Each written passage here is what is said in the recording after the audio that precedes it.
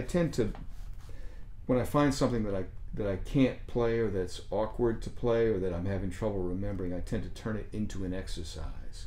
So if it's A uh, concept or yeah, let's say let's yeah. say I wanted to play this, uh, and I was having trouble remembering that.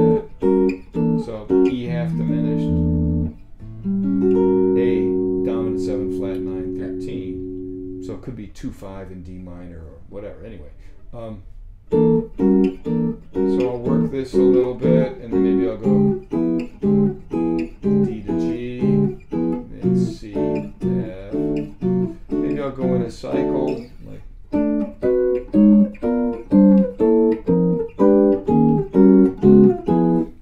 this kind of a thing where I'm just going back and forth, back and forth until I feel like I got it under my fingers. Yeah.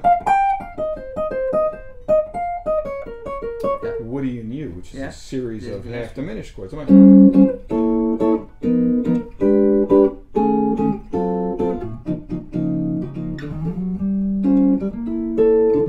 I'll just work it and plug it in until I can do it effectively. That's Yeah. what I'm looking at.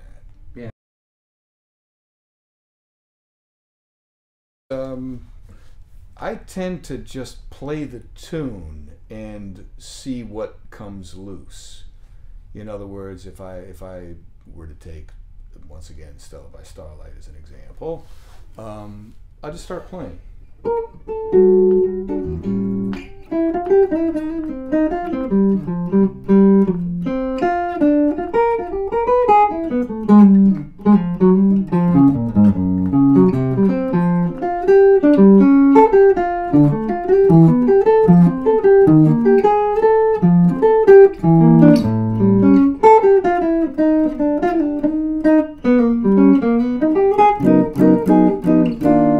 Vocabulary. That's right, that's what. I'm saying. So if it's me doing it, that's one thing. If it's somebody that's just starting out, the, the things I want to get them started with, the first thing is playing in a tonal center. So actually, if I have somebody who's really just getting started with improvising, I probably won't pick Stella by Starlight as a tune to work That's a difficult tune. It has a lot of Yeah, harmony. lot I'll of pick changes. something that's got simple harmony. I'll pick Blue Bossa or Autumn Leaves are two, you know, starter tunes because you can play both those tunes basically in one key or in two keys depending Yeah. on, you know, what you uh, which one you're doing.